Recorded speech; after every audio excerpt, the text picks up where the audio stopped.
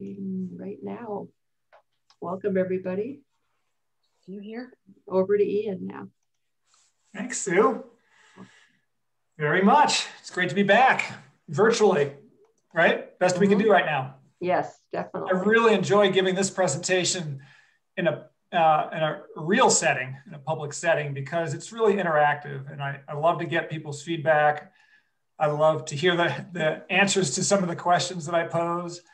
Um, this subject is as timely as I think uh, one could be, given uh, where we live and the changes that are taking place in our environment. And one thing I can say right off the top is I, I assume many of you, I was sort of preaching to the choir, many of you have been taking advantage of more free time to get outside and enjoy nature.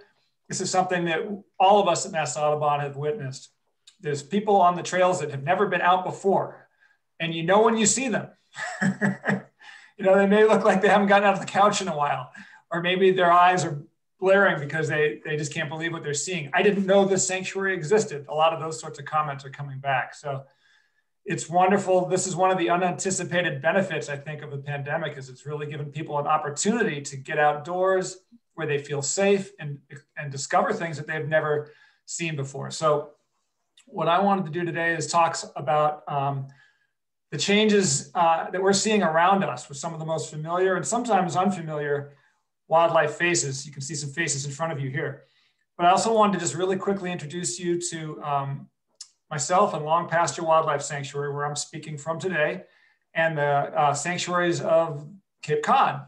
Uh, I don't know how many of you have been to our sanctuaries, but Mass Audubon has five sanctuaries open to the public on Cape Cod including Wellfleet Bay on the Outer Cape, Long Pasture, where I'm speaking from now, Barnstable Great Marsh, Skunknett River, and Ashumet Holly. We also have two other more remote uh, barrier beach sanctuaries, Sampson's Island and Popponesset Spit. And each of these sanctuaries has so much to offer at every season. So just because it's January or February doesn't mean there's not a lot to see. And I think this presentation today will give you a little bit of uh, insight into that. But I really hope you have a chance to get out to these trails and take advantage of um, the safety, security, and, and just the beauty and the therapy. I can tell you one thing for me, spending all these times in front of a desk, it's great to be able to, to get out and, and enjoy nature. Um, Long Pasture, one last note, is in the midst of a, a project to build an additional nature center we're calling our Discovery Center, and it's slated to open in June. And we're hoping by that time we will have at least mostly pass through this pandemic, we hope, right? And that we'll be able to press the reset button and welcome folks into our brand new all access, uh, up to date and professional visitor center at Long Pasture. So Long Pasture is in Barnstable. It's in the village of Cummaquid, right on Route 6A. It's 110 acres overlooking Barnstable Harbor and Sandy Neck Barrier Beach. And it's a spectacular location. Many of you have probably been out to Wellfleet Bay because it's been open for 40 some odd years. Long Pasture, on the other hand, has only been open for um, 15 years. So uh, make your way out here. I know you're out in outer Mongolia there in Falmouth, but uh, if you can justify driving out to Barnstable and Cummaquid, it's about 30 minutes depending on where you are in Falmouth. So let's get going here. Um, coming to a suburb near you. We're going to talk about some population trends and some impacts and start this off. This is what Sue and I were referring to.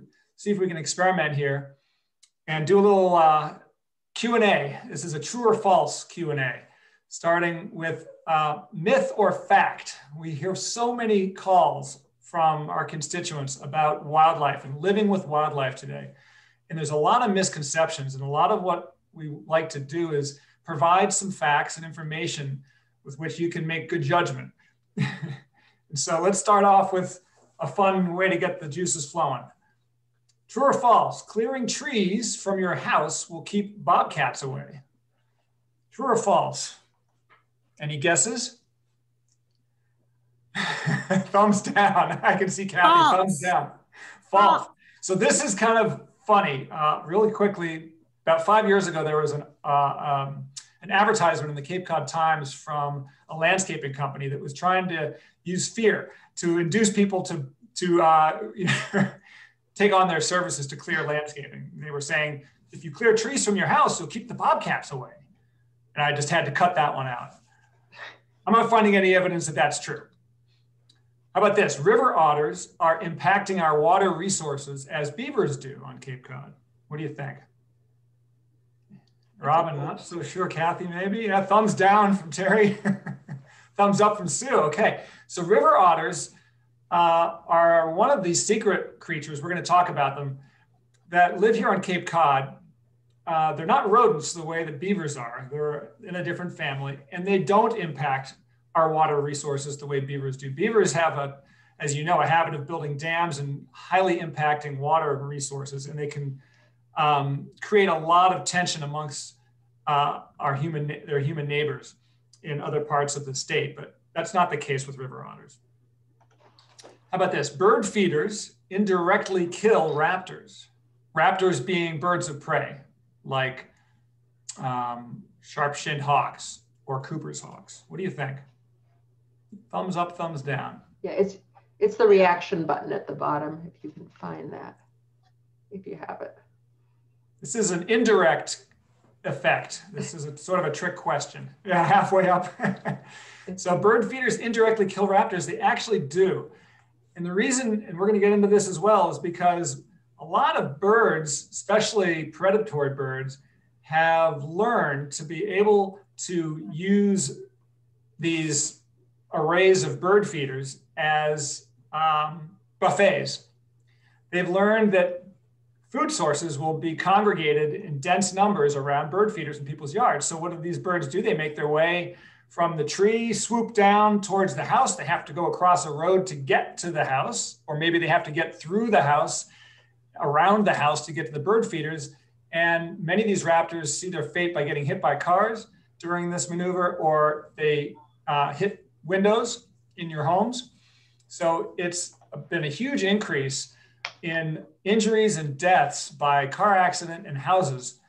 Um, and the uh, Cape Wildlife Center and WildCare, the rehabilitation centers here on the Cape, have reported this as an increasing problem. So something to be aware of. These raptors abs absolutely can be injured by being drawn to bird feeders in your neighborhoods. So let's talk a little bit about, now that we got the juices flowing, I'm sure you'll have more questions in relation to those. A little bit about what's going on. So why is it that we're seeing more and more animals? Why is it we're seeing a change in animals in our landscape here on Cape Cod? That picture on the right there of the, of the moose. Well, we haven't had a moose make its way onto Cape Cod that I'm aware of, but we did have a black bear, right? Made his way all the way out to Provincetown. We've seen bobcats now. We've seen many other species. Why is it that these animals are arriving and what can we do about it? How do we coexist? Again, the vast majority of questions we get at Mass Audubon from our residents and our supporters has to do with living with wildlife. So there's two types of reasons primarily why animals disperse. There's active dispersal, which is represented by the moose. This would be um, animals moving due to population pressure. Yeah. Might be due to resources, food resources, or habitat, appropriate habitat resources. It could be competition, a lot of animals have competition within species that they're trying to avoid and they disperse as a result. Habitat quality and size is really important. As animals get squeezed out of their desired habitat, they're forced into other areas. That's what we consider active dispersal. And we're seeing a lot of that here on Cape Cod. We'll talk about it. And then there's passive, which is what you might expect from milkweed pods that blow around using kinetic energy that occurs naturally in the environment. We're not going to talk about passive today. We're going to stick with the active dispersal and really think about it from, you know, a philosophical perspective, right? So, so what, what's at play with all of this dispersal that we're seeing with the changes in our environment and the um, constituency of wildlife around us? What's at play, right? So there's this active dispersal, which I was just referring to. And that, again, that's the movement from birth site to breeding site and or from one breeding site to another. That's really the foundation of active dispersal. And we're seeing that with these seals. These are the harbor seals and the gray seals that are now starting to um, populate our shorelines in very large numbers. And this leads to, this active dispersal leads to range expansion. That's just a technical um, biological reproductive word for dispersal. Their range is expanding. So the range of the, of the gray seals is expanding dramatically. The range of the eastern coyote is uh, expanding dramatically and many other species we're gonna talk about. So this is just giving you sort of a little bit of dispersal 101 here. This is also very interesting, the evolution of animal dispersal. So as it says here under this bullet, climate, right, and the ancestral homes of most of our native mammals and birds in part explains their ranges today. And a good example would be this dark-eyed junco that you see here with an insect in its mouth. So think of it this way. Our um, seasonal variations that we see, right, here in New England are analogous to the annual recapitulations of glacial and interglacial periods going back in time. So annual migrations today of this bird here, the junco, reflect these long-term variations in climate and in habitat that took millennia to forge into the migration patterns of the species we see today. And if you think about it, this shouldn't surprise you. Again, something like a junco back in the last glacial period would have been forced to move south from its northern climes because of the glacier, just not enough resources. The animal moved down south. Over a long period of time, as the glacier retreated, this species then began to return to its ancestral homes. That habit that took place over the millennia has been forged in the brains, the evolutionary brains, so to speak, of these animals and dictates their movement today. So it's just amazing to think that migration is in large part due to the glacial, in, glacially impacted movements of these birds over time. So, so what does it mean now as our climate is starting to shift? We're going to see what we call phenological impacts. Phenology is the changes around us that take place on an annual basis. Okay, so phenological impacts are going to change dramatically as our climate shifts because just the slightest temperature change could mean the difference between this junco arriving in time to feast on insects or arriving too late or too early and not therefore not having any insects at all.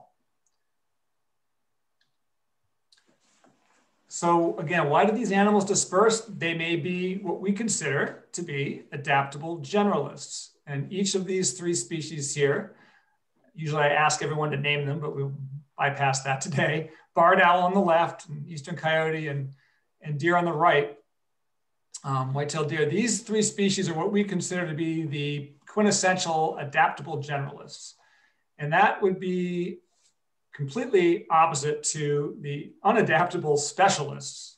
We're going to talk about the difference between the two as we go along.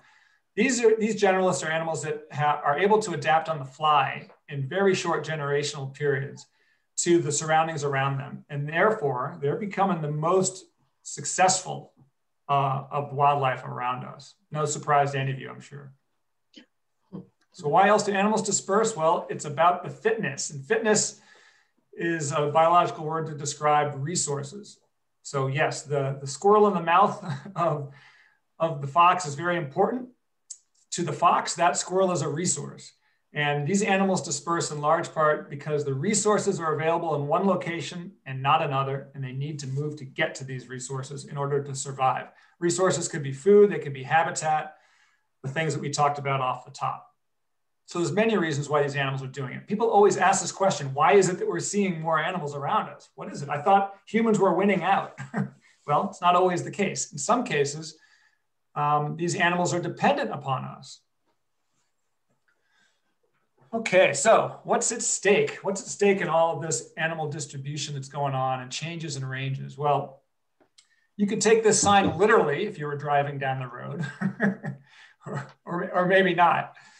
So the deer population has exploded in and around New England. We're going to talk about in a minute.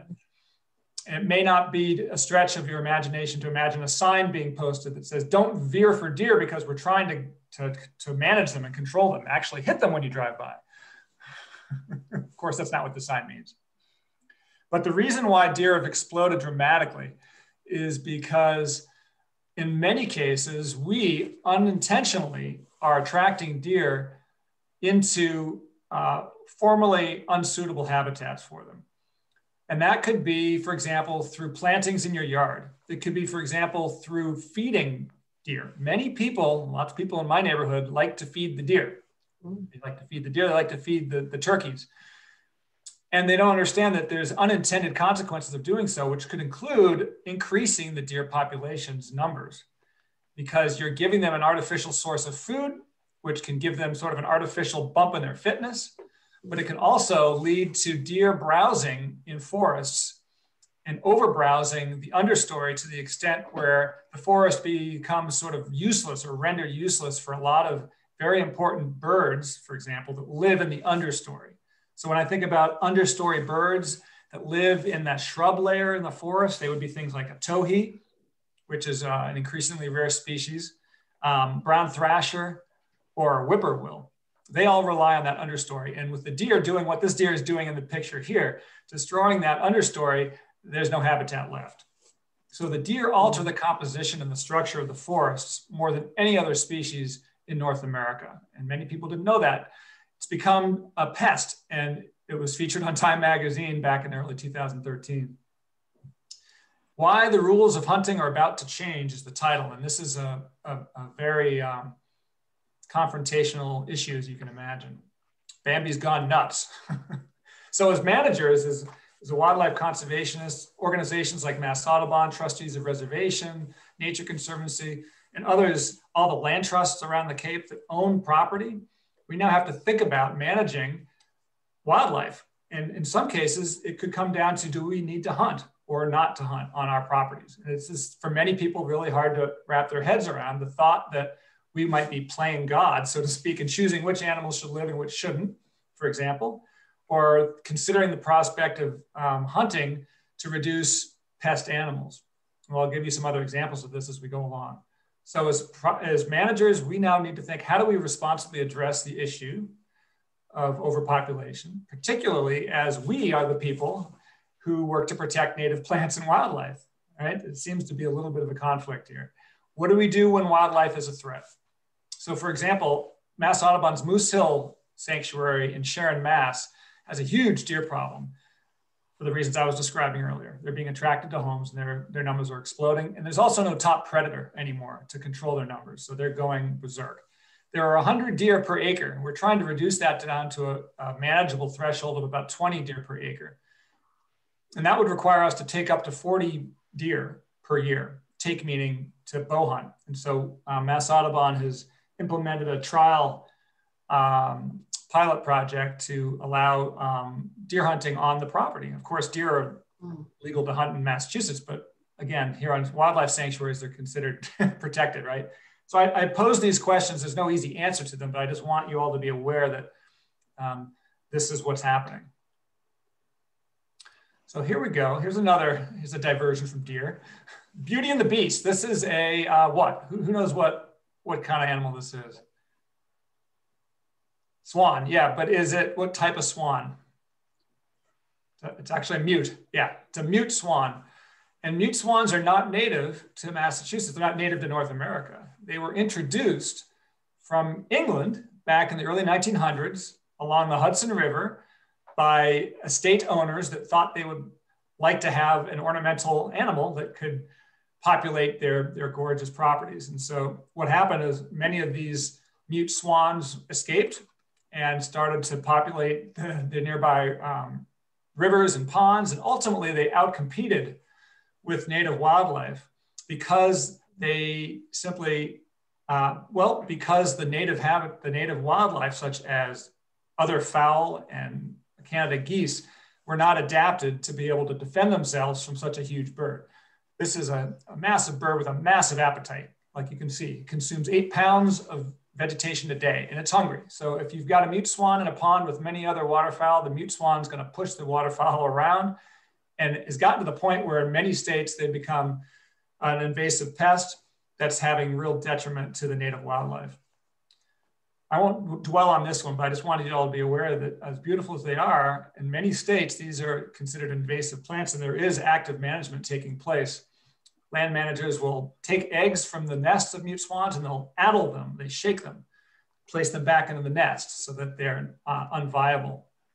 It causes the bird to continue to nest without reclutching and laying new eggs. And of course, these eggs never hatch. So um, it's gotten to this point with the mute swans in many locations along the eastern seaboard where management has to, has to um, come into play the way it has with the, the deer. And so as you can imagine, there's a lot of divisiveness that has emanated from the dispersal. And these on the Cape are the three species I think have, have garnered the most uh, interest and concern, right? So we've got the, the uh, seals, which include both the harbor and the gray seals in the upper right-hand corner. The lower left is a picture. This is not a staged photograph. That is actually a great white shark eating a minke whale about three miles north off the coast of Sandy Neck Barrier Beach in Barnstable Harbor. Uh, astounding that a, a, shark of that size is that close, but they are. and uh, of course, the, the eastern coyote. Those are the three I would consider to have the most divisiveness around them from a public perspective. So we call it the Oz and the Jaws. Aw, isn't that a cute seal? And Jaws, great white shark in Chatham. The Oz and the Jaws. So, so what are some of the trends around the Oz and the Jaws? This is uh, probably the most uh, contentious issue right now among fishermen and among people uh, here on Cape Cod that like to use the shorelines for recreation. Well, the trends are that the seals uh, are up from about 19 individuals in 1994, that's an estimate, to at least 40,000 in 2017. It's probably anywhere from 40 to 50,000 in our waters today. That's an enormous increase, um, obviously, numerically. And we'll talk a little bit about what it means from a macro scale and a micro scale. And then on the sharks, there are over 200 sharks which have been tagged since 2009 by Greg Skomal and other researchers around the Shark Conservancy. And the 350 have been cataloged. So 350 great white sharks. And just to remind you, as I go back to the slide here, this, this guy here, who's chowing down on the minke whale, um, was reported to Greg Skomal um, when it was discovered three years ago, and he did not have a record of the shark. So there's still lots of sharks that have not been recorded, including enormous ones, such as this one, which is about 15 foot to 20 foot, he estimated in size, which would be one of the largest great whites he had documented um, ever. So um, yes, seals attract sharks. We know that to be the case. The seals are primary food for sharks in this region. The sharks have adapted to feeding on these seals. And as the seal numbers have increased, the great white shark numbers have gone hand in hand. So it's gotten to the point where there's a safety issue. We know there's been a death here in Massachusetts from a shark attack. Um, and does culling of sharks make sense? Is this something that we now feel we've gotten to? In Australia, they're doing a lot of active culling along the Gold Coast. They set up um, traps to trap sharks. They set up nets um, to trap sharks, and it has been successful.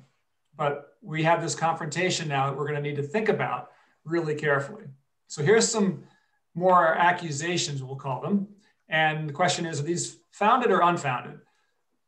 Okay, so how about this first one? Seals reduce fish stocks. We get this a lot. The question is, are the seals having a real impact on the fish stocks on Cape Cod to the point where you can make an argument that we would need to commence some sort of federally sponsored culling? And it depends, the answer is depending on what lens you're looking at and what scale you're looking at. So on the very small local scale, it's quite possible that seals off the coast of, of Tuckernuck and uh, Nantucket are in such numbers that they are having an impact on the fish stocks. But in the North Atlantic, are they having an impact on fish stocks? Not nearly as much as we are. How about this one? Seals increase risk for swimmers. Well, absolutely if you go swimming in an area where there's lots of seals out on the national seashore, you're putting yourself at risk for sharks. It's something to keep in mind when you're going out there, right? Seals pollute the waters. This is a big one. This is very similar to the first bullet. On a very macro scale, it's really not happening. But on a micro scale, sure, uh, lots of seals congested on um, a rocky out bluff, again on Tuckernuck Island or off the coast of Nantucket, could have um, local water pollution, water quality um, impacts, but they certainly aren't having anywhere near the impacts that we are um, in the broader ocean. And, and you could argue just the opposite, that they actually, their, um, their waste actually has a beneficial role in the microfauna of the, of the ocean, so to speak.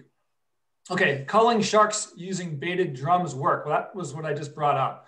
Many parts of uh, the world where great whites and other predatory sharks known to hunt man um, have implemented baited drums, including Australia and South Africa. And there's some thought that this might need to come into play here as the shark numbers continue to increase and as these sharks continue to understand that seals inhabit shallow waters and therefore they can go to these shallow waters and of course, we're going to be there when the sharks arrive. So something to stay tuned for. Removing seals will remove sharks. I'm not even going to answer that one because I don't think anyone anyone knows. We have no idea whether they will, and how quickly that um, that remedy would occur if it did at all, and what would be involved in removing seals in any way that could have a true impact on the population of sharks in our waters. That would be a massive undertaking there are plenty of sharks out there, so there's no harm in culling. That's one argument we hear a lot. And again, none of this, there's no right or wrong in any of these. It's really just posing the questions for us to think about. So as far as the seal culls are concerned, a little bit more fact for everybody. The Marine Mammal Protection Act, known as the MMA, implemented in 1972, is just now realizing its successes with gray seals. In other words, the protection afforded back in 1972 has taken two decades to really come through and start to show its positive impacts. This, um, by, from a biological perspective, from researchers, the gray seal population is just now coming into its own after having been uh, decimated. Uh, any cull in Massachusetts waters of seals would quickly be replaced by the 400,000 seals that are dispersing from the mothership, if you will, on Sable Island. So as we talk about dispersal, these seals have moved south for resources we were talking about. They're coming down to our waters. Waters off the coast of Massachusetts are hugely rich in food resources, very ideal setting for these animals. And so um, it's a feeder. Sable Island is a feeder for the population here. The population in the Cape isn't producing a lot of new pups. It's not a recruitment center. It's a spot that these animals are dispersing to. So that's something to keep in mind when thinking about culling. And then seals, of, of course, are what we call mesopredators. They are they prey and they're preyed upon, and they're integral to the food web. We should keep that in mind when you think about disrupting um, disrupting the interconnectivity of our ecosystem. A lot of people ask, what's the value of a given species to the greater world, right? What's the value of a toad? Well, we always use that analogy of the rivets in the airplane right? So if you take one rivet out, you may not have a huge impact, but if you take a bunch of rivets out, you're going to have a, a large impact. And you could say the same in this case. Seals, you know, they're mesopredators. They're um, they're key in their ecosystem, and they're integral to the food web. And the unintended consequences of removing them could be great. And you can see that with any um, any, any um, set of species within their, their organism, within their habitat. All right, so let's change, uh, shift gears a bit here and talk about uh, the most adaptable carnivore. Let's see if I can get this to.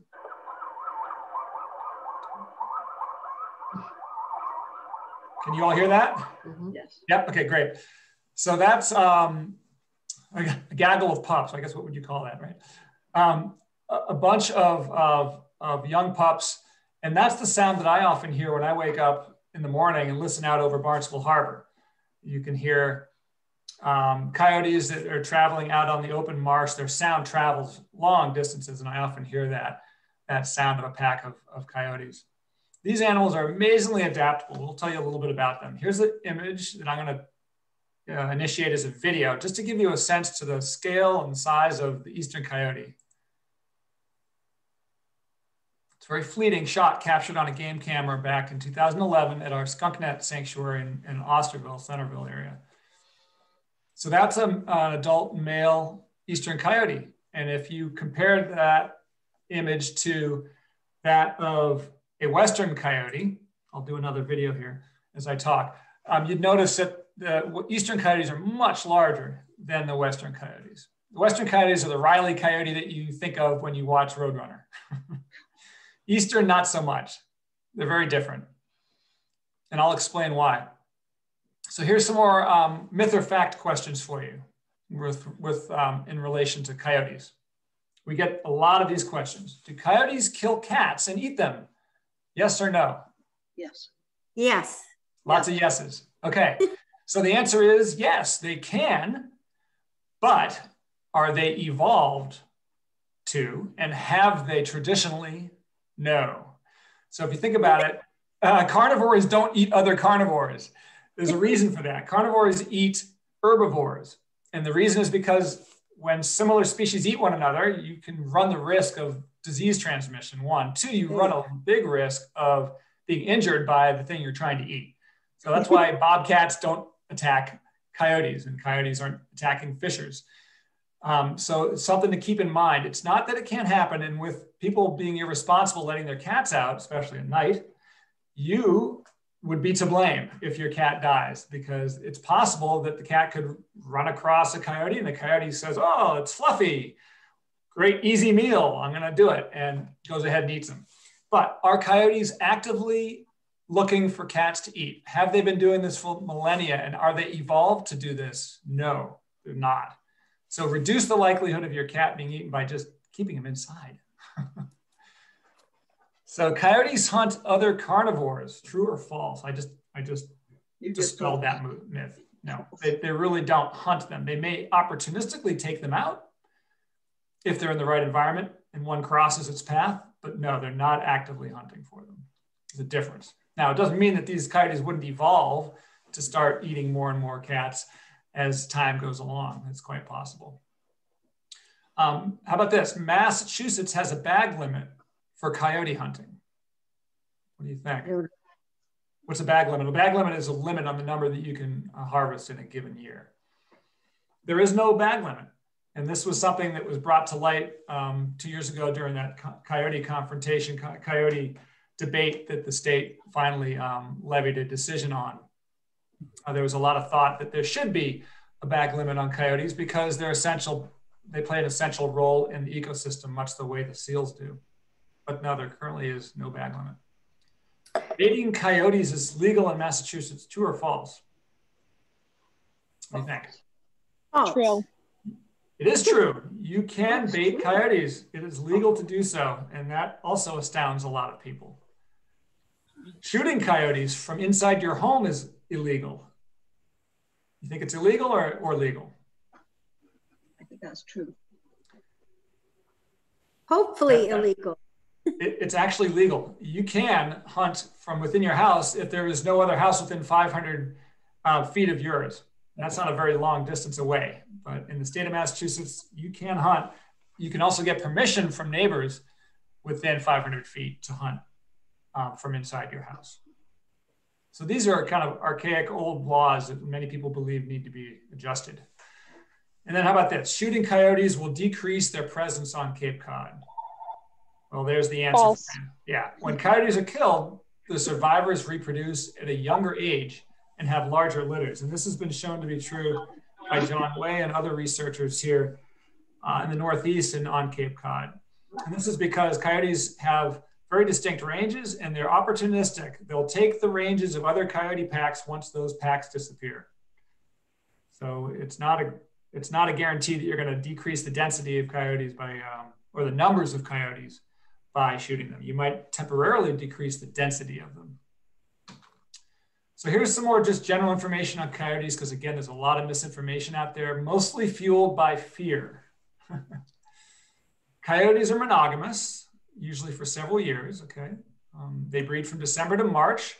The pups are born in April. That's when you're most likely to hear those yelping sounds from the pups. It's usually six pups per litter.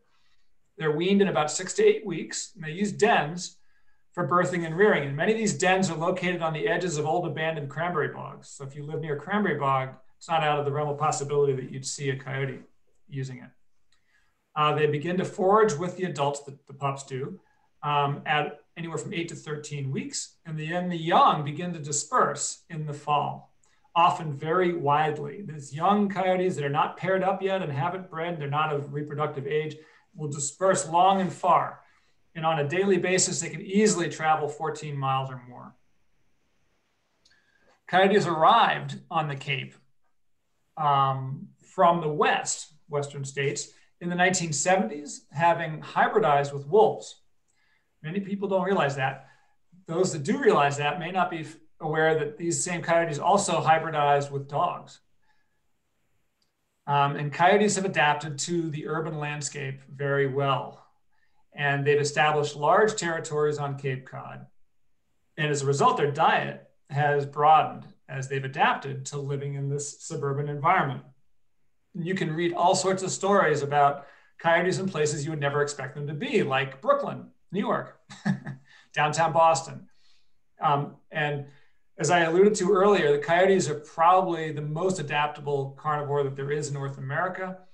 Just the fact that they were able to cross hybridize with wolves and domestic dogs gives you some idea as to how they would have been able to uh, even be positioned to be able to live the way they live amongst us in the suburban environment today that they, they have.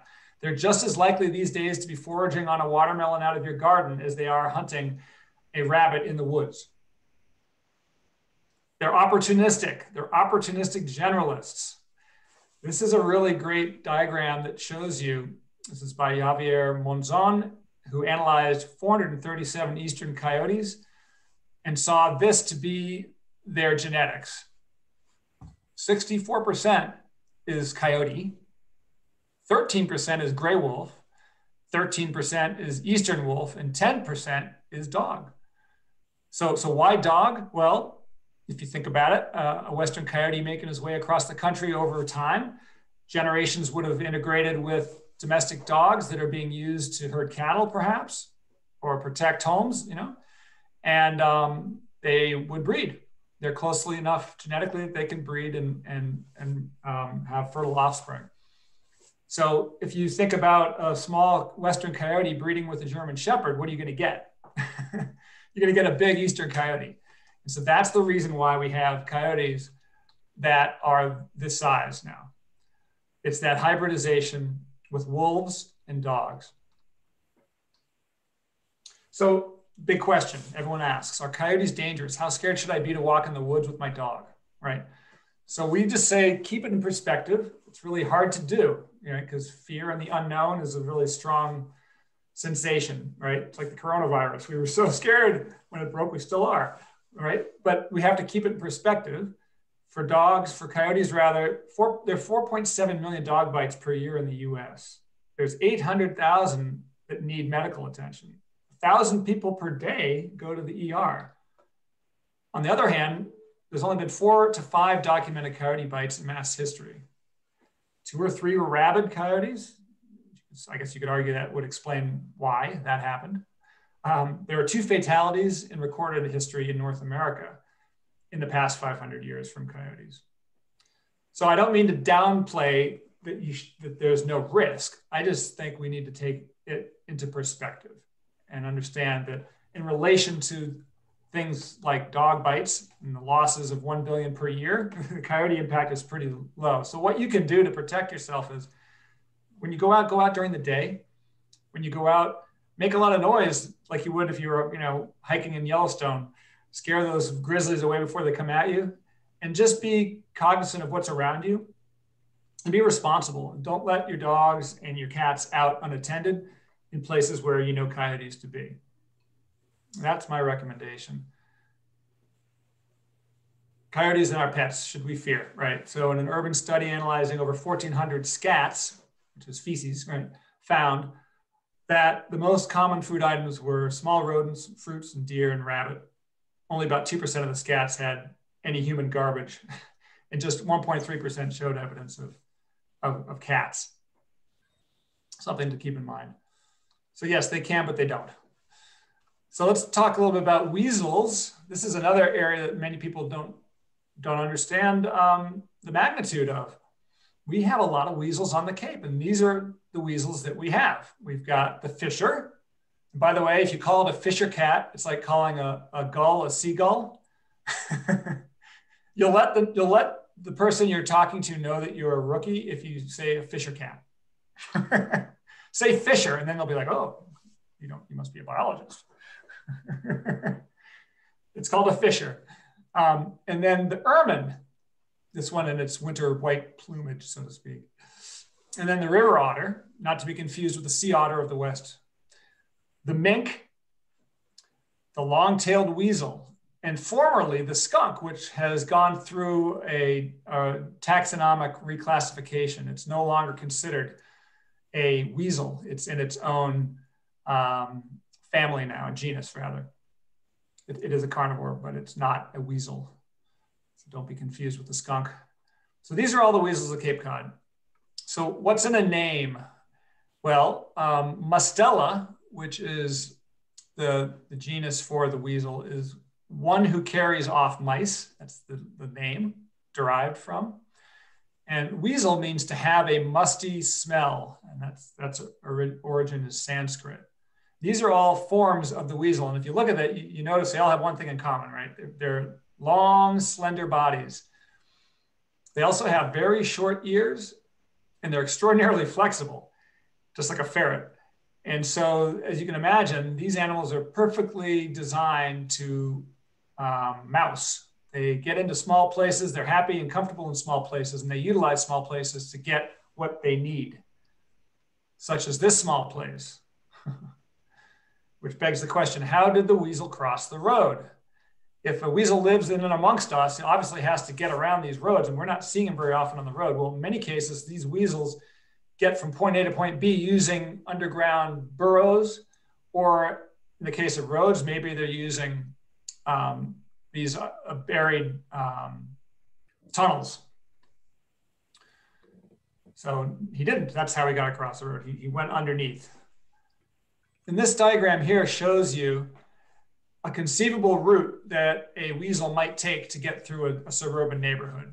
They might go from a patch forest up in the upper left-hand corner and then skip across the road or use a conduit like I just showed you to get under the road and then make its way through this other patch of forest and then maybe cross the road here, the path of least resistance, and then get into another forest um, corridor or patch. And these animals are, like I said, very adaptable and they understand how to stay out of sight. These would be weasels, even things like uh, bobcat, and avoid detection. So these little forest patches are really important for wildlife around us to be able to get from point A to point B, from way up here to way down here without coming in contact with us or, or running the risk of getting run over.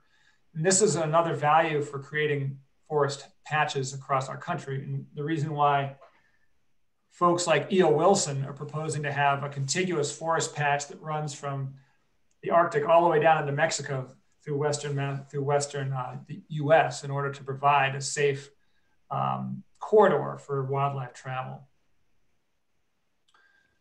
So here's another video of a weasel. What kind of weasel is this?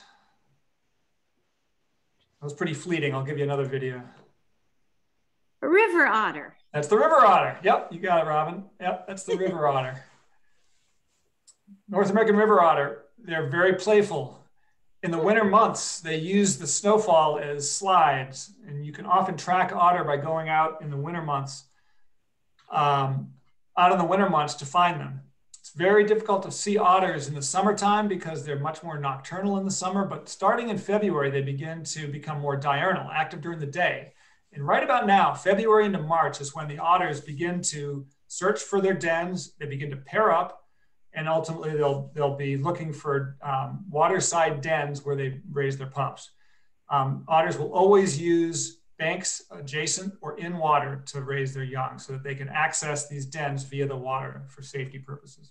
And these photos I just showed you were taken at Skunknett River uh, Sanctuary. I'll do a quick another one for you. That's a bridge that they're on. And again, driving home the point that these otters will use man-made structures to get from point A to point B if they feel they can do so safely. There's not much cuter than a river otter. And there's not much cuter than a fisher as far as I'm concerned. They're cute, but they have a reputation they definitely have a reputation. I think there's some myths that we can dispel here as well. So let's do a couple other questions. Myth or fact? Fishers scream. What do you think? Thumbs up, yeah? Fishers scream. Okay, let me pose it another way. is what you're hearing at night in the backyard a fisher screaming? Likely a fox. Yeah, exactly. It's likely a fox. If you listen, first of all, try to find evidence of fishers screaming. It's hard to do. You can hear recordings of them online. I know that they vocalize and I know that they make these screams, but the screams that we're hearing and attributing to the fisher are almost always cats or fox. Fox have a blood curdling, high pitched scream, and there are a lot of them around us. If you think about it, why would a fisher who's hunting at night and doing so by creeping up on its prey, why would that animal be screaming out loud? Unless it was in a fight. It, it's, it's not going to, a fight with another fisher. So um, just keep that in mind. You know, as a biologist, I'm just naturally skeptical when I get reports of things like fisher screaming in the night. If someone says, you know, I saw a deer yesterday in my backyard, well, I have no reason to doubt it. But if someone says, you know, I, I heard this fisher screaming and I'm positive that's what it was, I like to say, show me evidence. Send me a video of the fisher screaming, not of the sound, because that could be anything, but the actual video of the fisher screaming. It's, it's a lot harder to do. How about this? Fisher kill and eat cats. Same question as the coyotes. Same answer. They, they have not evolved to do so. It's not in their best interest. It's too dangerous, but they will opportunistically. Fishers are found all throughout the Cape, true or false? They gotten to that point where they're everywhere now? True. From the bridge all the way out to P-Town? Yep, it's true. They're much more common in the upper and mid Cape, in your neck of the woods in Falmouth, but they, um, they have been found and documented as far out as um, Eastham, Truro. So they are everywhere. They're very adaptable and their ranges are expanding. Fishers hunt and kill other fishers and other carnivores. Well, we've dispelled that now. They do not, they have not evolved to do so, but opportunistically they, they can. This is the historic range. This is pretty amazing. And this is, you know, if you go into the old Encyclopedia Britannica and you take a look at the Fisher range in North America, this is what it would show you. The reality is that it extends way down into Appalachia now, or near near that, as the as they have become more opportunistic and adapting to living in suburbia. And this is a fisher photographed uh, in upstate New York. And you can see the size. It stuns people when they see the size because there is huge sexual dimorphism in this species. sexual dimorphism is the difference in size and appearance between the sexes. And this is a male. Huge. This, on the other hand, is a female. Cute little thing. uh, looks more like the size of an otter or a mink. Um, the habitat that fishers, unlike otters, is um, I'm sorry, the den sites, unlike otters, is, is arboreal, up in the trees. And the, this is an example of a perfect den. A broken, hollowed out tree that the fisher can climb into to raise its pups. They're arboreal. It's very rare that you're going to see a fisher that's um, spending a lot of time on the ground. So here is a video that was taken here on Cape Cod this winter of a fisher. This is really great that I can show you this. Take a look at this. Broad daylight. See his tail wagging. He's about to come down the trunk and you can see the amazing, like a squirrel, the amazing traction and grip that they can achieve with their claws. And look how he runs directly along the trunk using all of its body to support it as it makes its way down. So they're arboreal, they live in the trees, they're mostly nocturnal, but as you can see, they are active during the day. And we think that they're changing their habits in response to living in suburbia, much the way that the coyotes are. Take a look, you'll see some bark fly off the tree in a minute. Right there. Those are long claws. The crow doesn't like it. You can tell the crow's onto him. And there he runs off. So again, that, that looked to me like a female, about the right size. Certainly wasn't this big.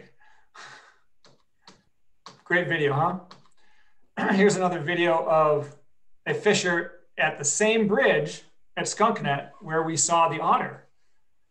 So we set up a game camera that winter, left it up for about three weeks, and over that period of time, we caught um, images of fisher, otter, mink, uh, coyote, and several species of duck, all using that same spot.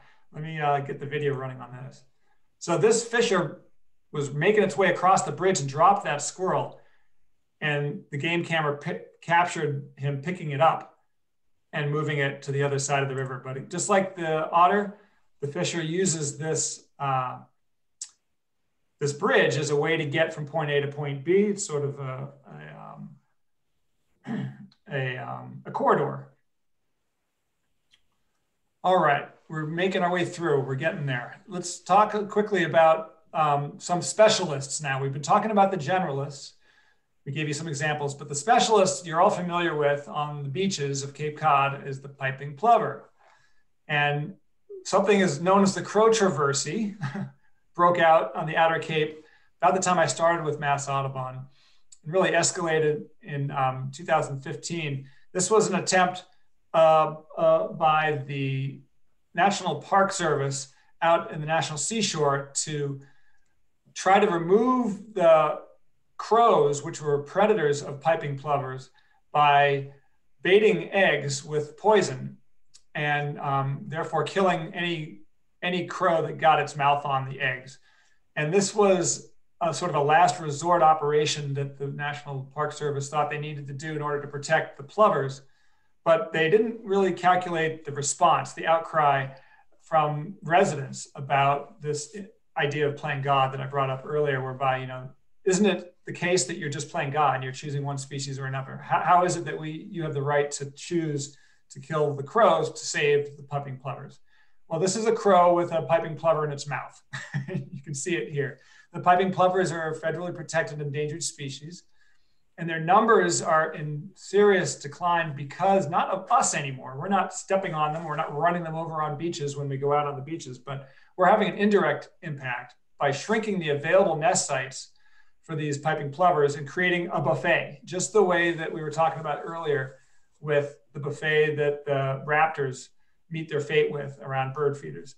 And so concentrations of piping plovers are common on beaches, so much so that when one coyote or when one crow finds them, they can wipe out the whole beach. And um, coyotes' stomachs have been opened up um, and looked at, and inside them there's 10 to 15 piping plover chicks. um, so here's a chart that represents the abundance and productivity of piping plovers in Massachusetts. And the yellow line indicates the number of piping plovers that fledged from our beaches on Cape Cod.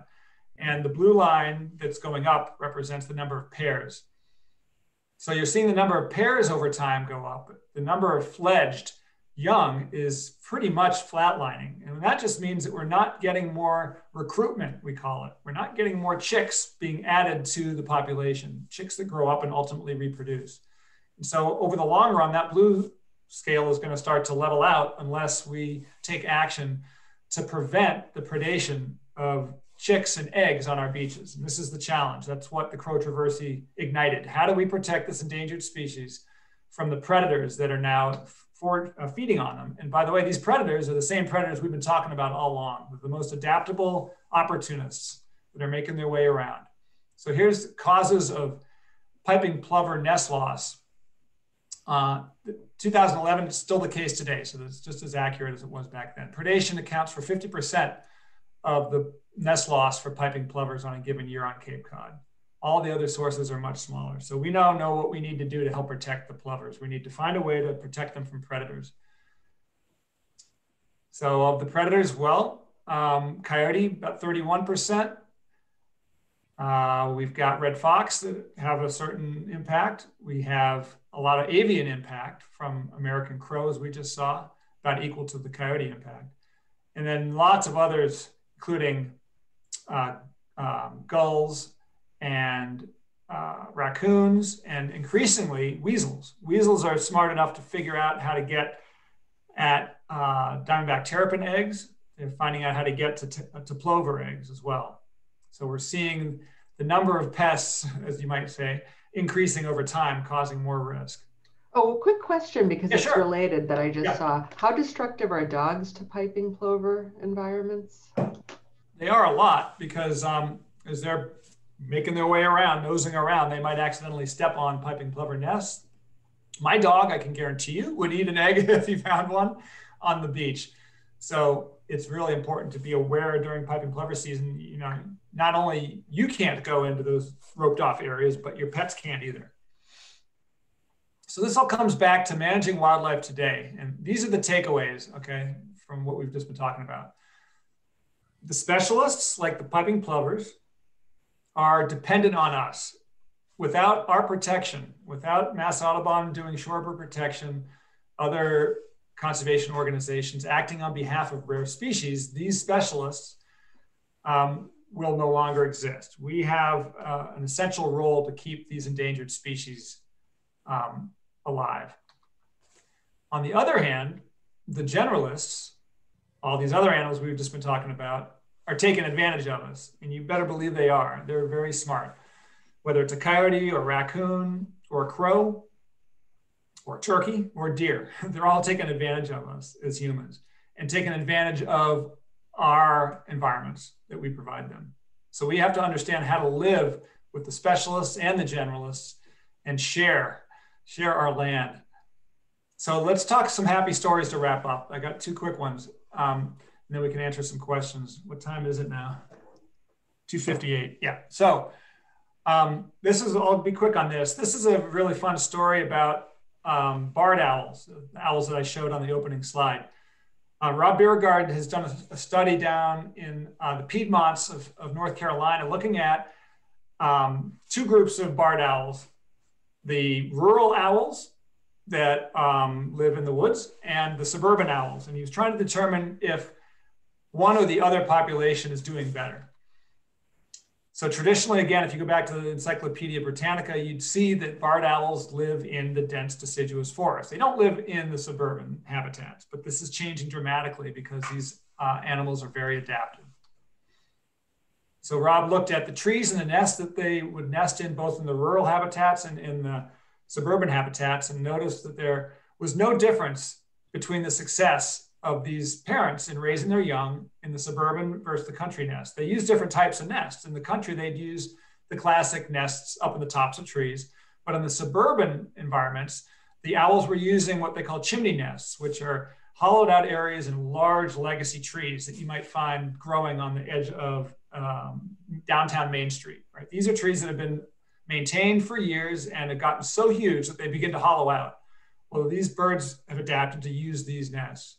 And it turns out that they make very good babies in those nests, and that the owls have adapted in their hunting strategies in the suburban environments to be successful. And this graph shows you that the urban uh, barred owls rely on birds predominantly, just the way we were talking about earlier with the, the buffet and the and the um, the bird feeders, while as the suburb the rural birds use um, herps, crayfish, insects as their main diet. So suburban birds figured out how to take advantage of the buffets available to them to provide enough food to their babies and utilize these new types of nests in the chimneys to make do. And these barred owls have done this over a relatively short generational period of time, probably two to three generations. Very similar to the coyotes that have adapted to eating watermelon and hanging out in Brooklyn in just a few short uh, generations. And it just kind of tells you how quickly animals can adapt. So look out for barred owls on Cape Cod. We're seeing more and more of them. These are the owls that, that hoot, who cooks for you, right? Who, who, who cooks for you? That's their call. There's a barred owl at Long Pasture we captured uh, a, a, great image of. We didn't capture him, we captured a great image of. Um, another uh, success story is that of the turkeys. So here we go. This is a hunt of the past, probably back at the turn of the 19th, 18th century. Look at all these turkeys these guys caught. Very proud of. There's a coyote in here too. Um, this hunting that took place in the late 18, early 1900s absolutely decimated the turkey population to the point where there were virtually no turkeys in upstate New York, and um, they were extirpated from Massachusetts. Today, the turkeys that you see that are hanging out around the post office and crossing the roads and causing traffic jams are not as wild as you may think. Yes, they are wild, but these are turkeys that were translocated from a captive population that was head started, if you will, in upstate New York starting in the 1950s. So, as it says here, by 1851, there were virtually no turkeys in Mass at all. And so, as a result, New York, upstate New York, chose to begin a game farm that was intended to raise and translocate turkeys across the state to revive the population. And since that time, 1,400 birds have been translocated in the state of New York. The number is up even more than that now. And uh, seven of those birds were moved to Massachusetts as sort of the founding population, the founding stock for the population that we see today. Uh, today, there are about 30,000 turkeys in Massachusetts if you ask for an estimate from Mass Fish and Wildlife. That's quite a quite a return, isn't it? Uh, it's a revival. Yeah. Pretty amazing. By the way, if you're ever wondering how to sex the two, these red, strange, fleshy protuberances on the necks of the turkeys are called caruncles, and only the males have those. And this is a, a dimorphic feature that's used to attract females. That's how you can tell them apart from the hens. Another great success story, um, we like to end on positive notes, is uh, there's a new breeding bird for Cape Cod. I'm sure many of you heard this. The first uh, bald eagle nest on Cape Cod since 1905 was documented last summer in Marston's Mills. That's 115 years since the last documented uh, bald eagle nest was, was seen. It just so happens that the last bald eagle nest in Massachusetts prior to their rapid decline was on Cape Cod. That was the last one. And now here we are, 115 years later, we are the last region of the state to finally see a successful nest. And it was not only a pair that nested, but a successful fledging. These are the actual chicks from that nest that you're looking at right here. This is an image taken by um, the ornithologists from um, Mass Fish and Wildlife that were alerted to this nest and, and, and scaled the, the tree, a huge white pine, and got up to this massive 10 foot, 900 pound nest and um, took images of these chicks. I got lucky enough to paddle by in, um, I guess it was late June, and saw the chicks um, moving about, and they successfully fledged. So very exciting. This means that we're going to be seeing more bald eagles on Cape Cod. This pair will likely come back to the same nest and try again to raise young. Some stats from Massachusetts right there to take a look at. There's 80 nests across the state now. Pretty remarkable. And one on Cape Cod. So the next chapter, as we think about, you know, all of this dispersal and adaptation and the generalists among us, I think it's fair to say keep your eyes out for more bald eagles for sure. Um, report any nests that you see to Mass Fish and Wildlife.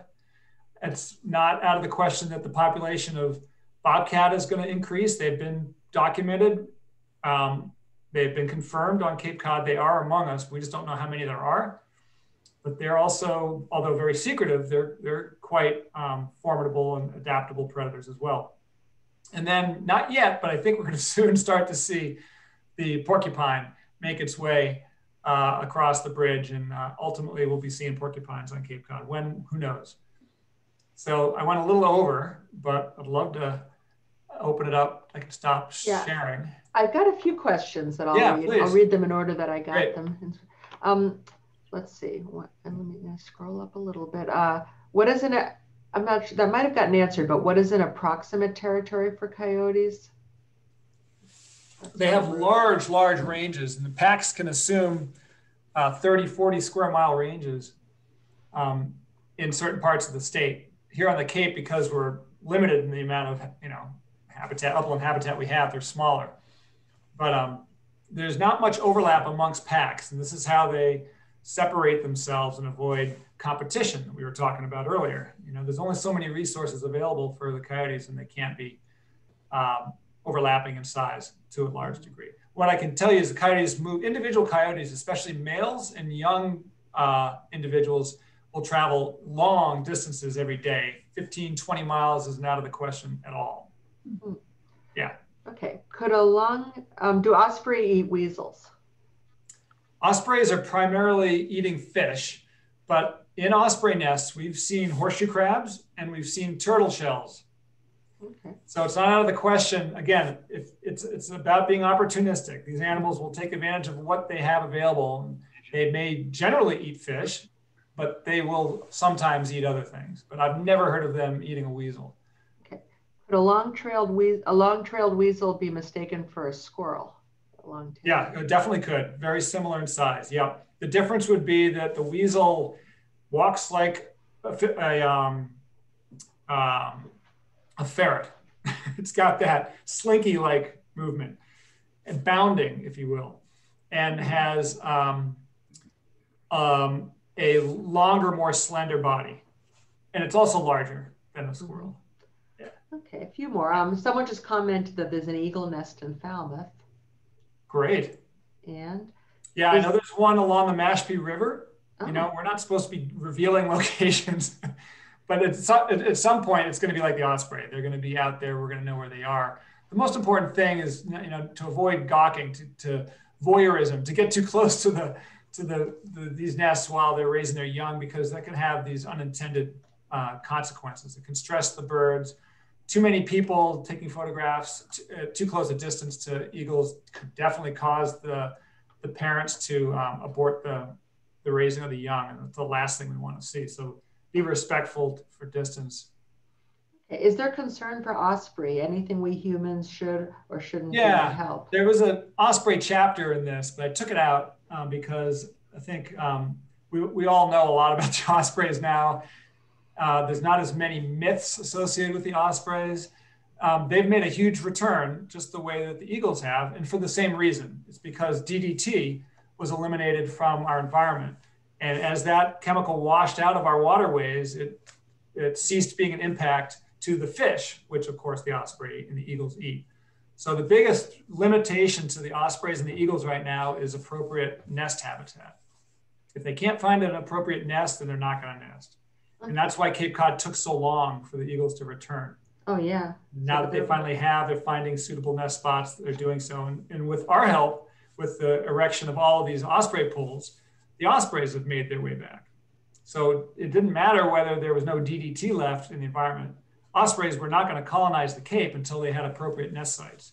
And it was really the founding of nest pole raising by um, Gus Ben David out in Martha's Vineyard and um, Alan Poole and the Westport River that, that that whole evolution of raising osprey poles is what really led to the ultimate success of the osprey. And now they're back in huge numbers and they're doing fantastically. It's it's the best success story we can talk about on Cape Cod.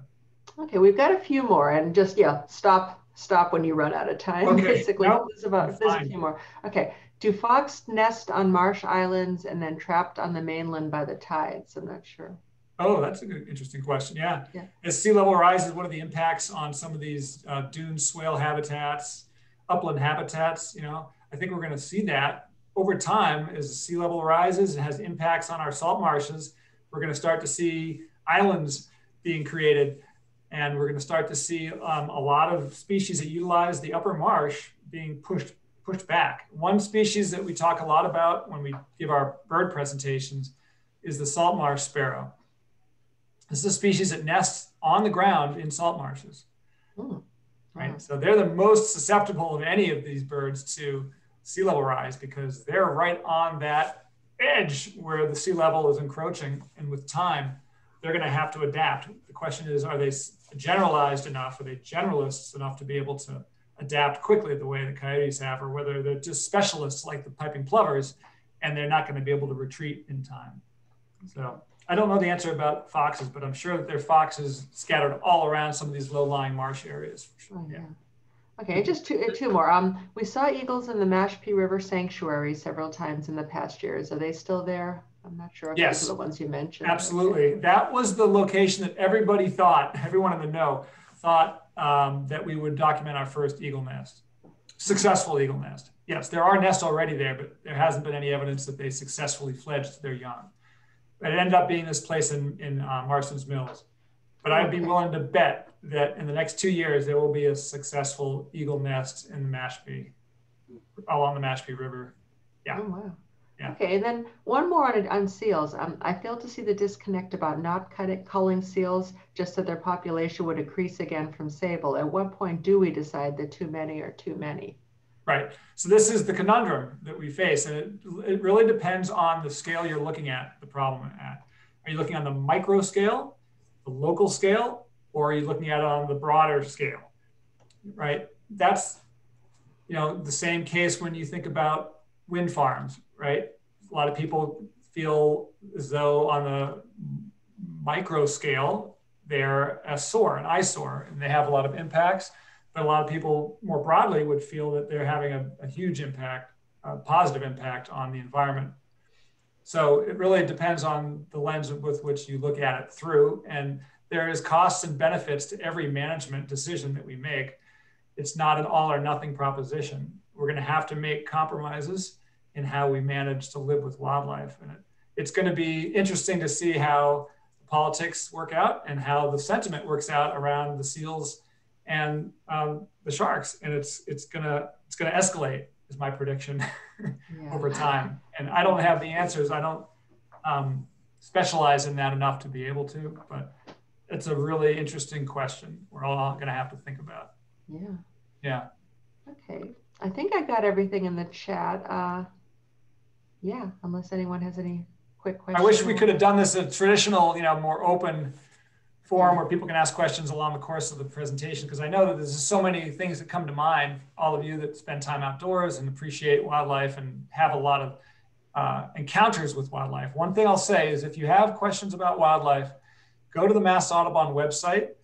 There's a whole Living with Wildlife section, and Mhm. so many of the common questions are answered there.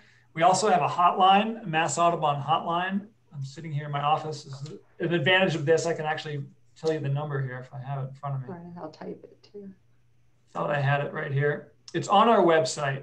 Which is it's called what the is Mass Audubon Animal Hotline, and it's the number is 781 259 2150. You can call your local sanctuary, but if you call this number, um, you'll be more likely to get a response. And um, you can get all sorts of information disseminated from that source. But go check out the Mass Audubon website first. Do, do you, what's the URL on that? Do you remember offhand for the site? The URL for it? Yeah. You just go to the Mass Audubon website. Okay.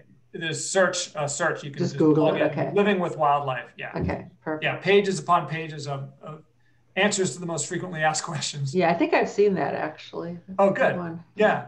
Well, I hope this Thank was fun much. and helpful for everybody to. It to has. Yeah, we've it. gotten a lot of thank yous in the comments. We've Oh, appreciated it. We, we love having these talks and Good. I think people have learned a lot.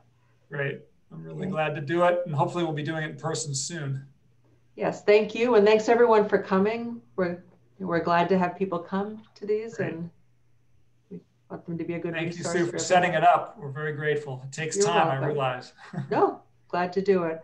Right, take Okay. care. Have a great day, everybody. All right. Come Bye-bye. by Long Pasture when you guys can. Yes, do. All right. Bye-bye. Thanks.